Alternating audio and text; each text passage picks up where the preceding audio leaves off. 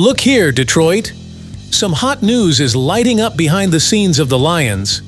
One of our own might be about to get back in the game, bringing that sparkle we all love so much. Watch now and come find out who is the lion that might return to the den. And don't forget, subscribe for more explosive updates. Ladies and gentlemen, what a spectacular offseason for the Detroit Lions. According to General Manager Brad Holmes, it was the best free agency we've ever had. And really, it's hard to disagree when you see names like DJ Reader, Kevin Zeitler, and Carlton Davis joining. But wait, did we address the edge rusher position as expected? No, we didn't do that. And here comes the question everyone is thinking. The price was too high this offseason. Now, Ian Valentino from the 33rd team suggests a deal to improve our pass rush.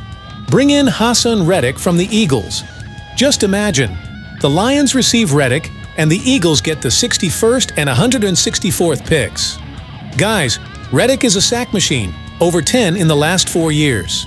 Now the tricky part, the impact on the 2024 salary cap would be $14.2 million, and Reddick, in the last year of his contract, will want an extension. Can we strike a deal similar to DJ Reader's? Two years for $27 million seems reasonable, but is it the best in the long run? Compared to what happened in the league, this deal isn't so unbalanced. Look at the Seahawks trading a similar package for Leonard Williams from the Giants. And if we think about Brad Holmes' strategy of trading in the first round, we might even recover those picks, or even more. So, what do you think, Lions fans?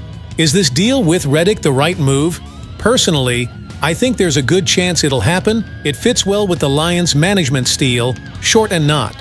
Two expensive contracts. Now I ask you, should the Lions go all in on this deal for Reddick? Is it what we need to take the team to the next level? Leave your comments, discuss, and don't forget to engage more with our community. Let's go, Lions!